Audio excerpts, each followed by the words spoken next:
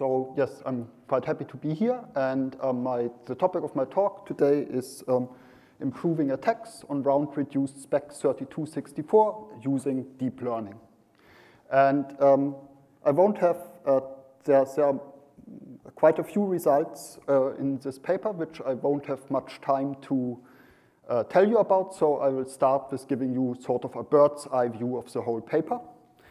And so the first thing that I'm doing is um, I, we, we, are building um, um, differential distinguishers using machine learning for Speck 3264, which are superior to um, classical differential distinguishers even using the full um, difference distribution table, which we also calculate for up to eight rounds of Speck and one chosen input difference.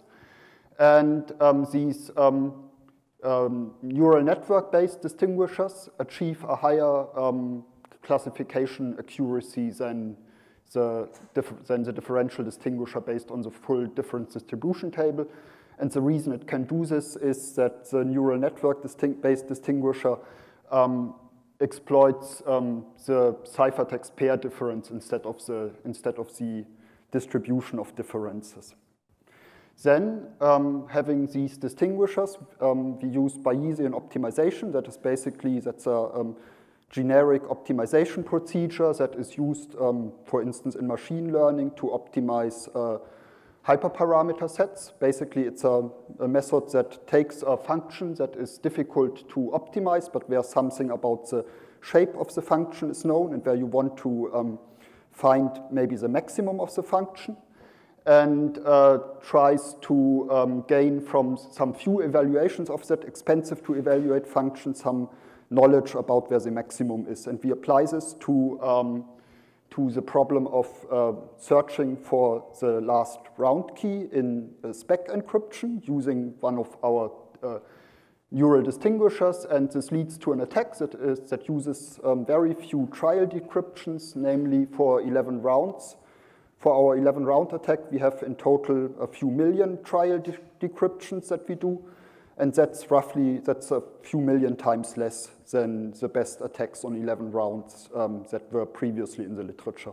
So the best previous attacks take about 2 to the 45 trial decryptions, and um, our attack takes a few million trial decryptions.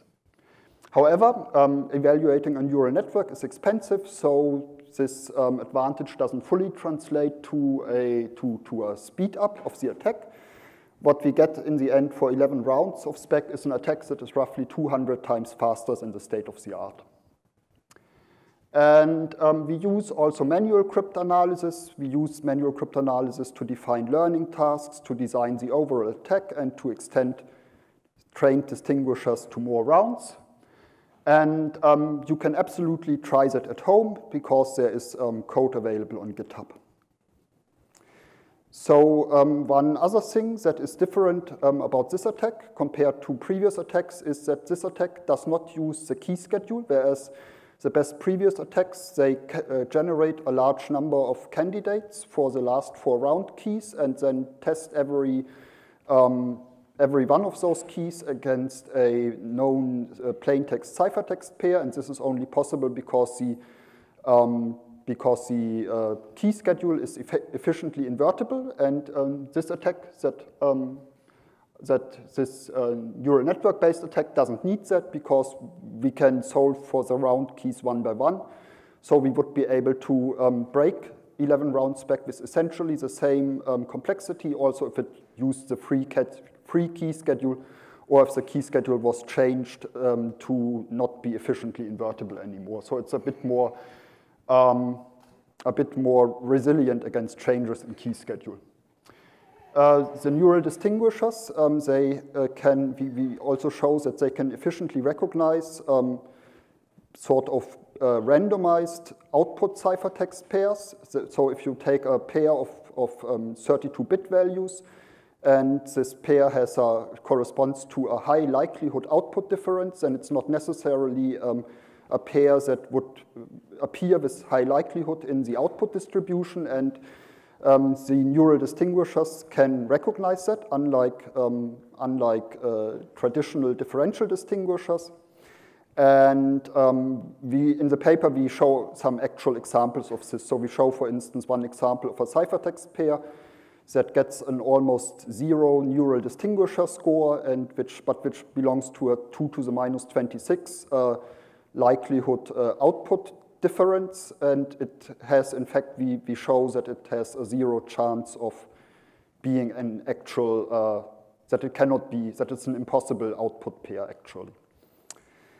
And then one, one other thing that we do in the paper is we use few-shot learning on cryptographic problems. Few-shot learning is something that um, is, a, well, I mean, a common, um, a common, mm, a common idea about machine learning is that when you do, you, you might be able to do interesting things with machine learning, but you need lots of data. Whereas we humans, we can sometimes learn from one example or a few examples of some problem and um, do useful inference about that problem um, later on. And in machine learning, this is also possible. There are a range of techniques that go under the heading of few-shot learning. So you show a machine learning algorithm just a few examples of some output distribution, and then it might be able to recognize that output distribution. And we also show that this is, um, to some extent, with some prior knowledge, that this is possible to do on Speck. So we can observe, for instance, three-round Speck for a few million examples with a random input difference and then give it a six round Speck to classify. And after seeing a few examples of the new distribution, it will get, it will, it will get a distinguisher that has some statistically, some, some advantage that is uh, very statistically significant uh, over random guessing. And we can also use the few-shot learning capability to find good input differences if we didn't know them um, without using prior cryptanalysis. Finally, in the paper, we also deliver some partial insight into the source of the additional signal, basically showing that the neural networks um, have an internal data representation that groups the um, output ciphertext pairs into some more fine-grained um, system of equivalence classes than the difference equivalence classes. And as an additional benchmark, we also developed differential distinguishers for five round Speck that exploits the ciphertext pair distribution perfectly, and these are, of course, then a little bit better than the neural networks. So they, yeah, they are a little bit better, but also much slower.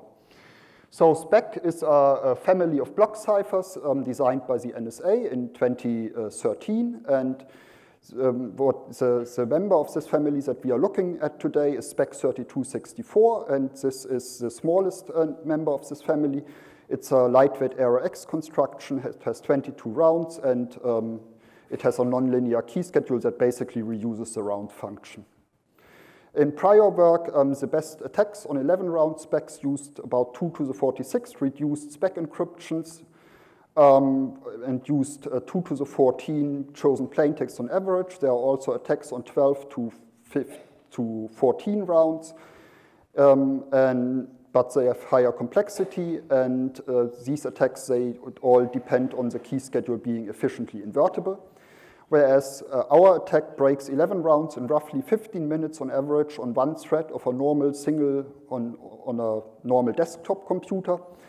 And this is roughly equivalent to about 2 to the 38 reduced Speck encryptions. And um, one thing that I should probably emphasize is that this represents one time data trade-off among many. So if we used more data, we could build faster attacks, for instance. So we could be roughly about a factor of 10 or maybe 20 faster if we used um, a lot more data.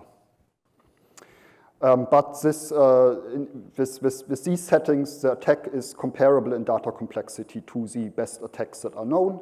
And so it makes the attack nicely comparable to the literature. Now, to calculate the difference distribution of, uh, of uh, round-reduced Speck, uh, what, to, to get a baseline for our distinguishers, we do basically just uh, the just standard things. So we treat the uh, we treat Speck um, we treat the um, differential transitions from one round to the other as a Markov chain with 2 to the 32 minus 1 possible states, and we calculate the distribution, the predicted distribution of that Markov, uh, of that Markov process given one known input difference. And this gives us one row of the difference distribution table for Speck 3264. And we choose this input difference here, which is, uh, which, oops, we choose this input difference here, which is um, known from the literature. We calculate the induced difference distribution. Then there are various sources of model error. For instance, we use double precision arithmetic and not exact, arithmetic. Then there could be dependencies between transitions, um, but empirically this model works very well. I mean, we have checked some of, we have checked, for instance, the highest likelihood transitions, and they are predicted extremely well by this model. And uh, the whole process is straightforward, but it's somewhat expensive. It takes a few hundred CPU days of computing time and about 35 gigabytes of memory for the final computed difference distribution table. Machine learning is, um, a, uh, is an umbrella term for various techniques that aim to make agents or machines learn from experience. It's very useful for some problems that are for also for some high profile problems, but it's also not difficult to find simple problems where a naive ML approach would fail or struggle very badly to find a solution. For instance, um, just if you dumped 64-bit uh, numbers and their parity on a neural network um, without doing anything else, then I think it, that would be a fairly hard problem for the neural network to learn to calculate the parity you can do it, but you have to, you have to um, give it some other, some other training data. And uh, there have been uh, spectacular successes in recent time, for instance, the game of Go or poker or machine translation. And I think it's also important to realize that these mostly use machine learning just as one crucial part of a larger problem-solving system, and that's not different here. So a neural network is basically um, a, a, differentiable family of functions that is parameterized by some weights. So you have some inputs going in here at the, uh, you have some inputs going in at the input layer, and these inputs are then multiplied, these are real valued values, they are then multiplied by some real valued weights, then you apply some activation functions and pass to the next layer. And you can um, approximate a wide uh, range of functions um, by these neural networks. And to find a good neural network for a particular problem, you define a loss function, you uh, let it loose on training data, and you try then to find good weights by stochastic gradient descent. And then you test your system, whether your system actually has learned anything. You test, you find out by testing it on some other data, on data that is not the training data. So in cryptology, machine learning hasn't been used very much, and um, I think the outlook of the community has been fairly bleak in terms of um, machine learning being useful for cryptanalysis. For instance, so I have found here two quotes, one by Bruce Schneier um, from his textbook, Applied Cryptography.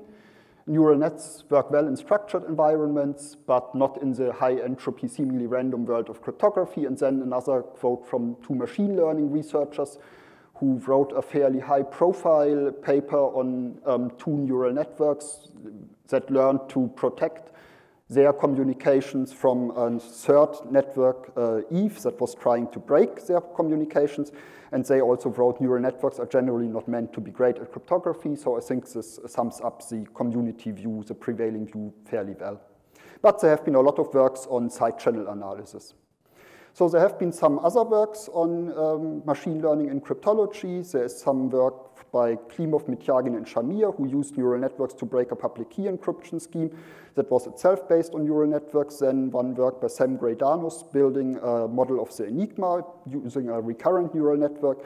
And also there's a, work, a recent work from ICLR 2018 that uh, showed that GANs can break simple short period Vigenère ciphers in an unsupervised setting. That was a work aimed at um, improving machine, trans machine uh, translation techniques. So to train a distinguisher for reduced Speck, we just generate a few million real and random examples, a ciphertext pairs.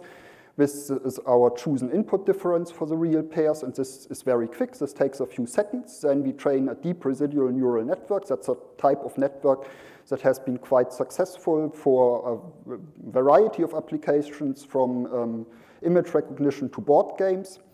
Um, and then we, and for five to seven rounds of Speck encryption, if you have a GTX 180 Ti graphics card, that gives you a better classifier than the difference distribution table after a few minutes of calculation. So this is very quick. And for seven rounds, you can also use a slightly more expensive training scheme to get some better network. And for eight rounds, you just fail, but you can use curricular training, i.e. designing a sequence of, um, a sequence of uh, intermediate tasks to learn on, and uh, then you get also a distinguisher.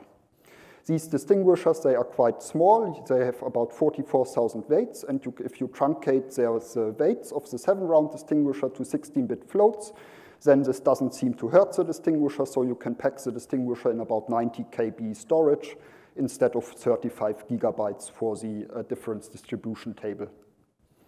And the results are quite good. You get, uh, we get um, better um, better accuracy than the difference distribution table uh, across the board in all of these tasks for five to eight rounds.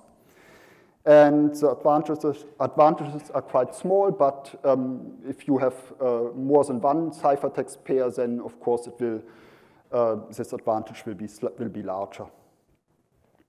Um, so to build a nine-round attack from this, we take the seven-round distinguishers, we add one round at the bottom by manipulating the inputs, which we can do because the first um, addition of a round key happens after the only nonlinear operation, which is the, uh, which is the modular addition. And we add one round uh, at the top by brute force trial decryption, and then we use a number of chosen plaintext pairs. So we use, in this case, for instance, 64. And uh, classify either by the difference distribution table or by the neural network. And when we do this, we see that the neural network gives much better uh, mean and median key ranks than the difference distribution table. So for instance, the median key rank of the neural network is one and the difference distribution table is nine. So it's, well, it's, the mean is roughly five times lower. So then to build, uh, to build an, an effective um, attack, an, an, effective key recovery policy, we look at the wrong key randomization hypothesis, which would, if, if the wrong key randomization hypothesis were to hold, then wrong key decryptions would tell you nothing. So you would maybe see one of, uh, you would see maybe one one ciphertext pair being uh, much higher rated than all the others, but you wouldn't, but from the wrong key decryptions, you wouldn't get any information about the, uh, about the value of the real uh, subkey that you're targeting.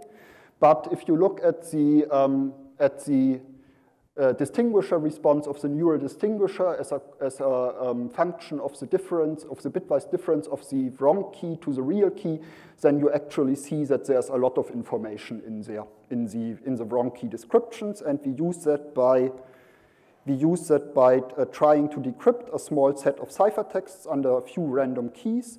Then we observe the average distinguisher response, and then we derive a new set of key hypotheses that maximizes the likelihood of the distinguisher responses. And we repeat this a few times, like three or five times, with maybe something like 32 keys. And then one of those keys that we find will usually be the, the right key. And um, and to build an 11-round attack, we uh, then extend this 9-round attack to 11 rounds by adding a 2-round initial tra differential trail. We recreate the conditions of the 9-round attack, i.e. that we have uh, a couple of um, plaintext pairs with this desired input difference by using some neutral bits for the initial 2-round trail. And we apply the key search policy to derive a short list of key candidates, and we detect success by looking at distinguisher scores returned, and if the scores look good, then we derive a short list of key candidates for one more round. And if those scores then look good, uh, which are then judged by uh, another neural distinguisher for one less round, then uh, if they are sufficiently high, we output a key guess for the last two round keys, and otherwise we ask for more data. Or we look again at data already acquired. So in conclusion, um, I think one can say machine learning worked really well in this instance. The neural network efficiently exploits the ciphertext pair distribution. Um, it is crucial to choose the right learning task and choosing a good model structure to, in order to be successful. Uh, we also used some manual cryptanalysis to derive a competitive attack from the distinguishers. Um, we automatically more or less derived an efficient key search policy that is very helpful to, for making a fast attack. And one thing that I would like to also add is that in that neural networks that are not, they, they have a, reputation for being black boxes, but in this context, I think it's more it's more appropriate to think of them as gray boxes because, for instance, with just access to a black box distinguisher, you wouldn't do, be able to do the few-shot learning, but with access to a neural network that has learned to recognize three round Speck, you can very quickly then learn to recognize six round Speck with a good chosen input distribution. And again, the code is all on GitHub, and that's, with that, I'm done.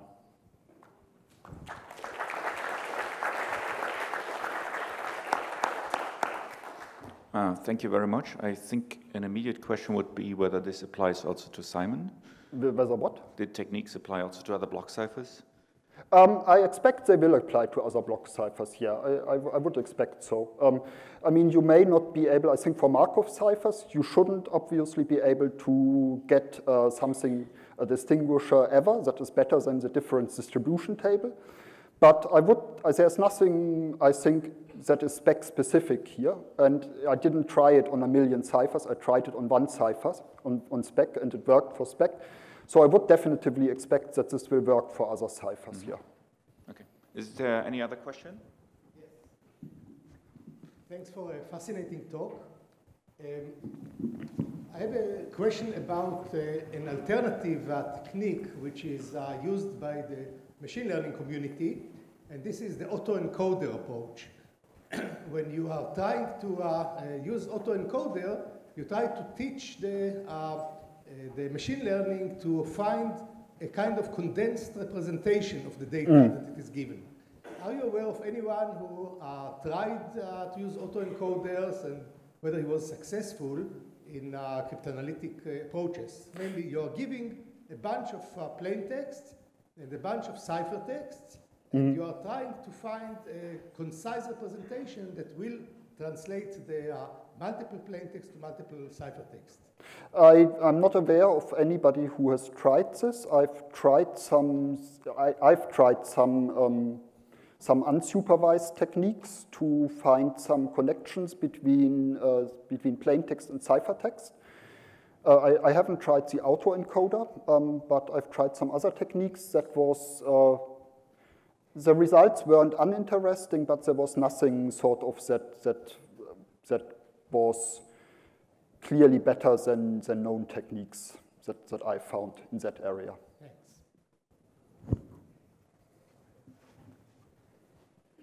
Any further question? Then let's thank the author again.